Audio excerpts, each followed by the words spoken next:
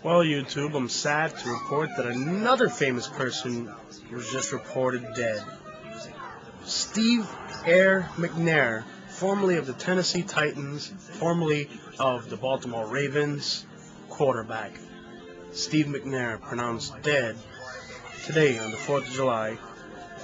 You see, if you remember from just a few days ago, my last vlog, I asked, who did you think would be the next famous person to die? Hmm. It's just amazing. It is just amazing. Hmm. Unbelievable. First, you know, we got the first report just now from CNN.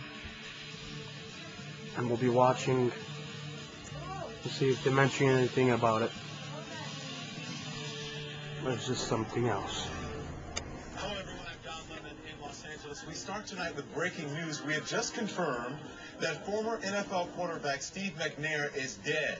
McNair's body was found in Nashville, Tennessee, where police are investigating a crime scene. Police say two bodies were found shot to death at this apartment complex. One of them has been identified as McNair's.